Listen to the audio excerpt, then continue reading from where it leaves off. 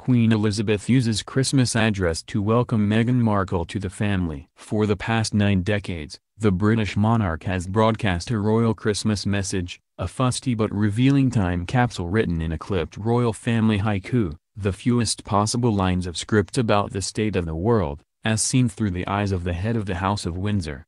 Queen Elizabeth II's Christmas broadcast on Monday continued in its earnest tradition, paying homage to the extraordinary bravery and resilience of the citizens of London and Manchester, who experienced appalling attacks with knives, vehicles and a bomb, by mostly homegrown Islamist terrorists.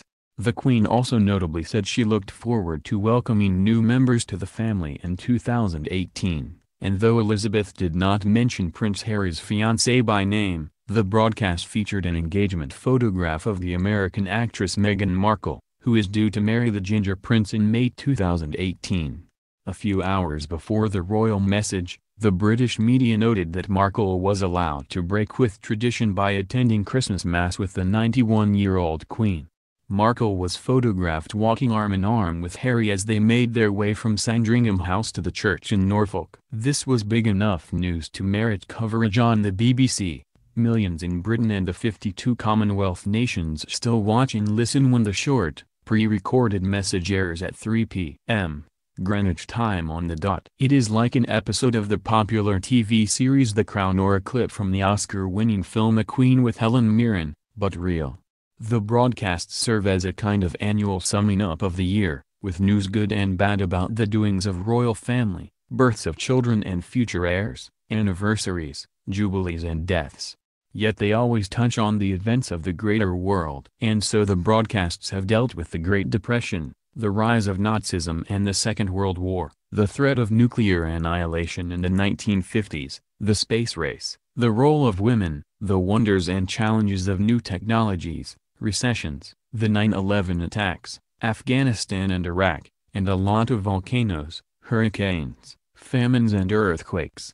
The first radio broadcast in 1932 by King George V was scripted by the writer Rudyard Kipling and began with the words, I speak now from my home and from my heart to you all. They were, and still are, intended to unite Britain and Commonwealth, and to sell the brand. On Monday, the Queen sat in white dress, with a string of pearls, beside a desk and addressed her subjects. She began with a bit of British self-depreciating humor, noting that 2017 marked an anniversary of sorts. 60 years ago today, a young woman spoke about the speed of technological change as she presented the first television broadcast of its kind. She described the moment as a landmark, Elizabeth began. The videotaped address then pivoted to a clip of a young queen giving her first televised Christmas address in 1957. Six decades on, the presenter has evolved somewhat, as has the technology she described, she said. The palace insists the queen writes her own Christmas address, with consultation from advisors. She continued, back then,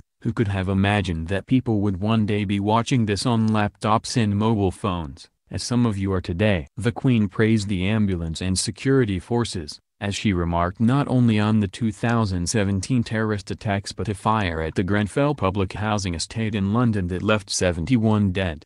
The Guardian newspaper wrote, the Queen chose the theme of home for a highly personal Christmas broadcast, noting her focus on the attacks and the Grenfell fire. The Queen showed up and expressed her condolences to victims of both. Reflecting on these events makes me grateful for the blessings of home and family and, in particular, for 70 years of marriage. The Queen said, I don't know that anyone had invented the term platinum for a 70th wedding anniversary. When I was born, you weren't expected to be around that long. She continued, speaking of her 96-year-old husband, even Prince Philip has decided it's time to slow down a little, having, as he economically put it, done his bit. But I know his support and unique sense of humor will remain as strong as ever as we enjoy spending time this Christmas with our family, and look forward to welcoming new members into it next year. The Queen ended on a religious note. We remember the birth of Jesus Christ, whose only sanctuary was a stable in Bethlehem. He knew rejection,